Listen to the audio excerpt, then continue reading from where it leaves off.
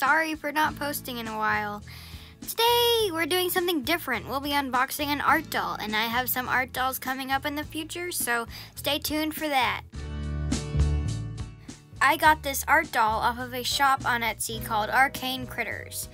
The art doll that I ordered usually sells for about $50. The custom ones sell for $50, and the ones that are already made, colored, and everything are $50 as well, for what I remember. It comes in a small box with a beautiful dragon stamp on the top, and I thought, I'm just gonna save the stamp. I'm probably gonna save everything that's in the box.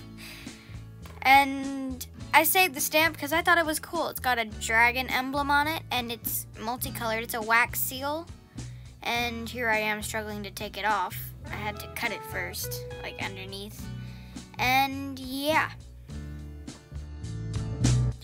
First thing we get is a blue bag with two Japanese candies. I think they're Japanese. I'm sorry if I don't, I'm not correct.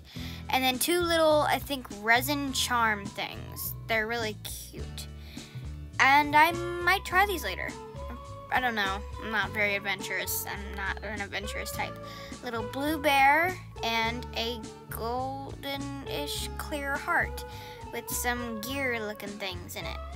I'm obsessed with this bag. I will be using it for future projects. This is one of the candies and this is another. The green one looks like it might be apple though.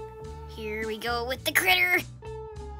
If you do happen to purchase this specific Quetzalcoatl doll, which is what this creature is, it will look white on the page because it is a custom. You will directly message the creator and pick out three colors. That's the lowest price. And then you can get feathers for another five or ten dollars. And then you can uh, get any other finishes like extra details and stuff for around $65. But I chose to get gray at the top with a purple head, a dark purple body with a white tail tip and I'm obsessed. She has a silver sheen. I don't know if it really shows on camera, but in real life, like in person, I mean, it's a silver sheen on the face. I am obsessed. And this is faux fur, from what she said. And um, it's so soft. If you could touch it, you'd be obsessed. And you'd want to never stop petting it. It's like, it's like a cat or a dog.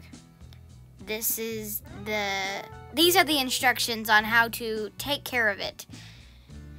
Just feel free to pause if you need to. This is her contact. You, sh you should get a fantasy art doll from her. And she makes little sculptures. And yeah, I found her on Etsy. I was just scrolling through looking at art dolls.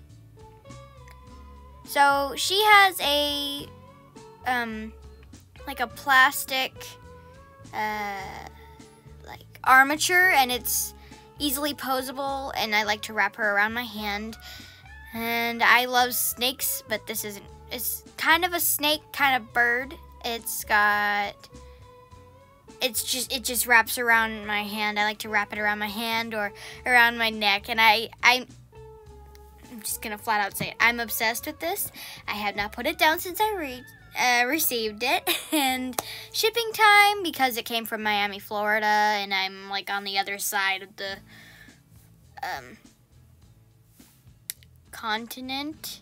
I'm on the other side of America. Uh, it took about two and a half weeks because when she got my message, she had to create the art doll and then she had to ship it out.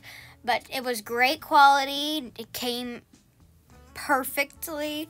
And I mean, I got a 4K camera, and so she looks shimmering outside. And then, since I don't want to show myself, I show it on my cat Billy's neck. That's kind of what happens with me, and she was not having it.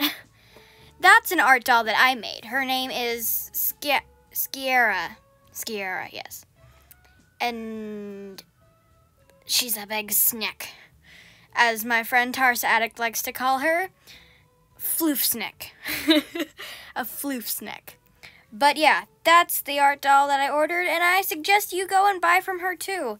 She's got great quality, and it is amazing. But that's all for today.